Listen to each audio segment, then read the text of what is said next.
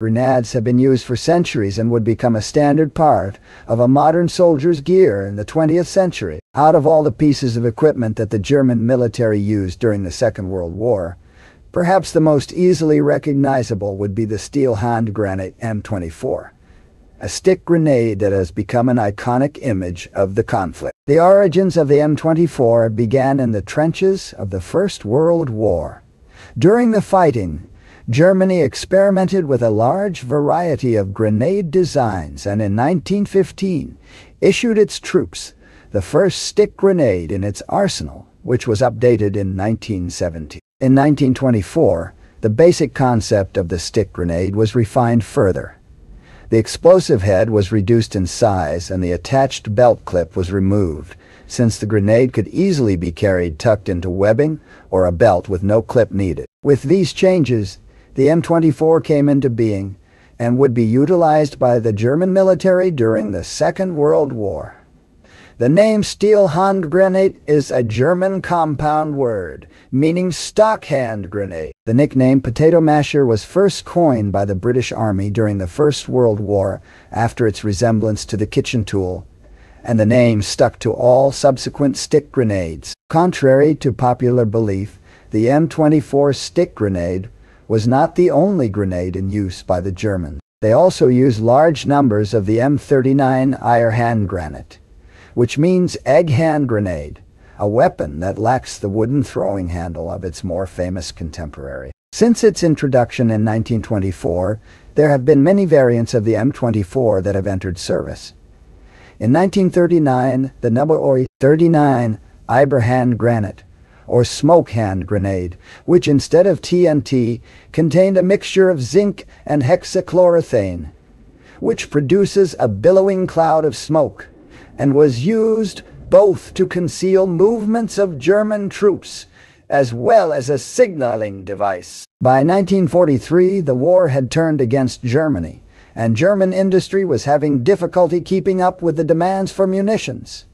The result was the Model 43 Stielhandgranate, a much simpler design. Unlike the M24, this latest version was not ignited with a lanyard through the handle but was attached to the top of the grenade, making the grenade head self-contained, similar to the M39 egg hand grenade. The handle was added on simply as a way to carry or throw the grenade, not a functional part of its operation. There were also variants which were used for training, and a Colt or cold version which was modified for use in extreme cold after many standard grenades failed to function on the Eastern Front. The M24 weighs in at about 130 pounds and has a length of about 14 inches. The explosive charge is about 6 ounces.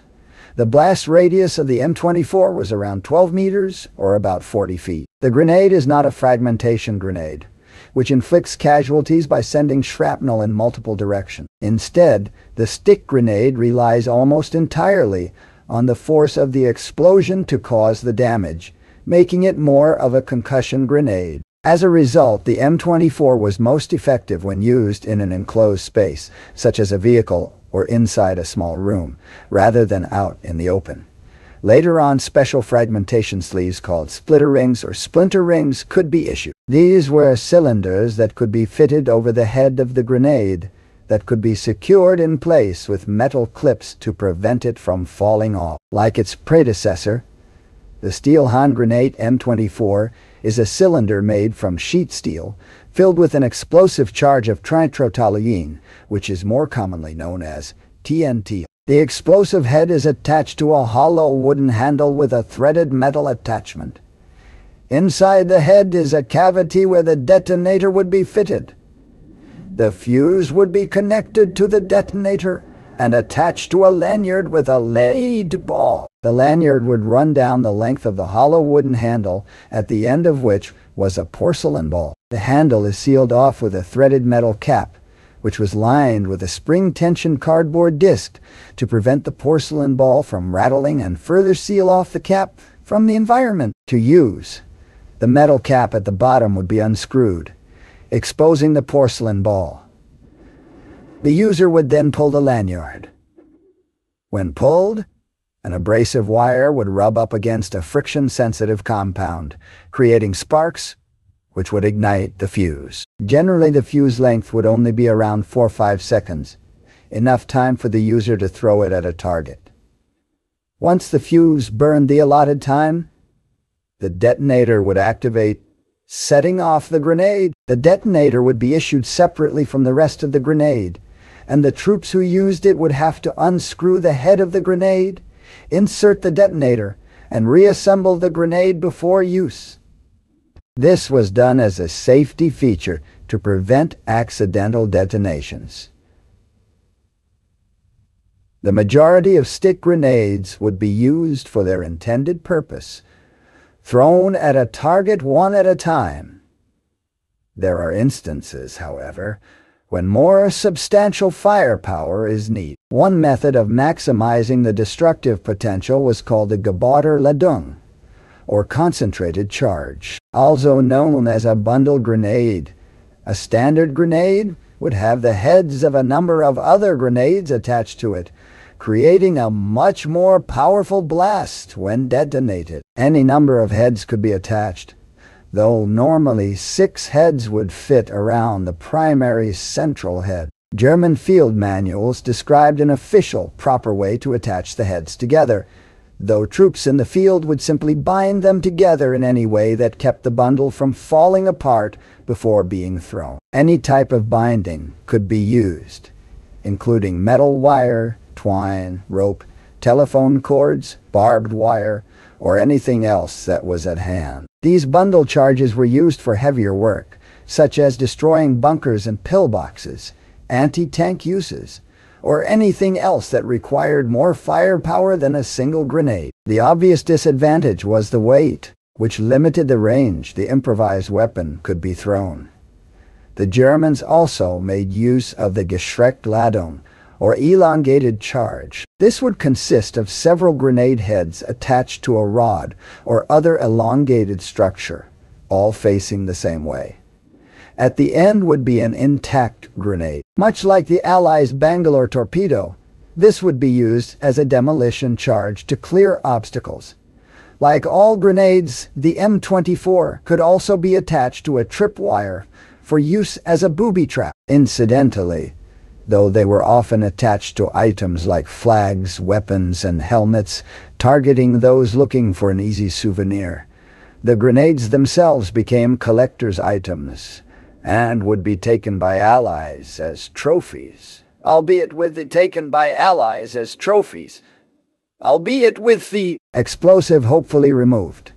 Main advantage the M24 stick grenade has over more conventional grenades such as the American Mark II pineapple grenade or the British Mills bomb, was its wooden handle, which makes it easier to grasp and throw. Due to the leverage created by the attached handle, the grenade could be thrown a longer distance, which is always a benefit in a combat environment. When used on uneven terrain, the elongated shape would also prevent the grade from rolling after it had landed, missing its target or worse, rolling back towards the thrower. Additionally, as discussed earlier, stick grenades can be bundled together, creating a more powerful explosion.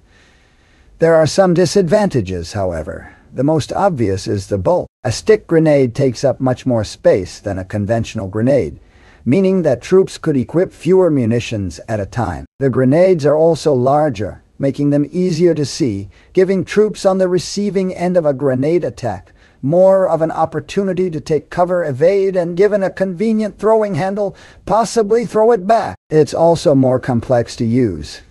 First, needing the metal cap at the base to be unscrewed, exposing the activation lanyard, then the lanyard pulled before throwing. In contrast, other grenades would simply require the safety pin to be pulled before throwing. The difference may only be a few seconds, but on a chaotic battlefield, such small amounts of time can make all the difference. Overall, the M24 Stielhandgranate was innovative, building on earlier attempts at grenade design. But the lessons learned during the Second World War would render the concept obsolete. With the end of the war also came the end of the use of the M24. as well as the concept of stick grenades in general, the disadvantages outweighing their benefits, relegating this easily recognizable piece of military hardware to the annals of the annals history. Until next time, peace out.